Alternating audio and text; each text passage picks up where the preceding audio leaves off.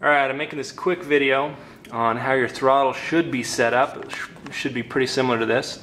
But I've taken off the air filter and this is where the carburetor is after I've taken off the air filter and the air- filter housing. So let's start with throttle cable.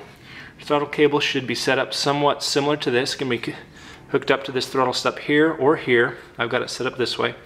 So when you step on the gas, pulls on the cable, and your throttle linkage does something like that, okay?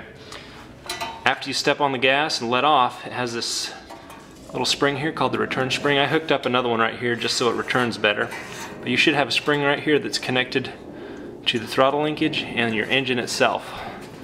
Okay, so moving on from this little action, when you step on the gas, your throttle linkage is hooked to another spring. You can barely see it on this side, so I'm going to step on the other side.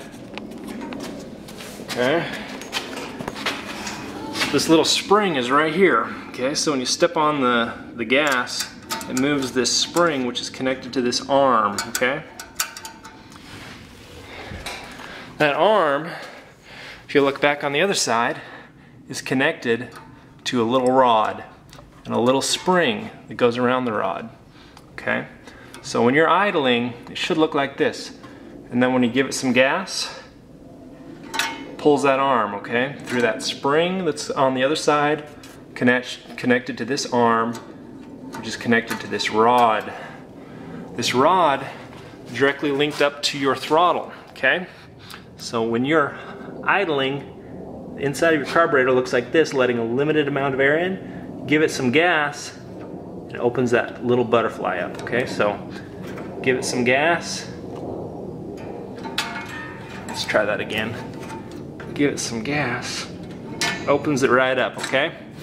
So, the way it's connected right here is that little spring should be connected into this little tiny hole, and that rod is connected in there, okay? So, you might be wondering what this other thing is right here. This is called the, the choke.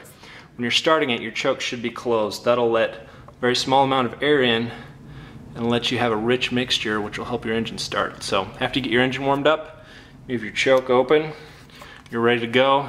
Give it some gas. Opens up your throttle. All right, hopefully that'll help. We'll see ya.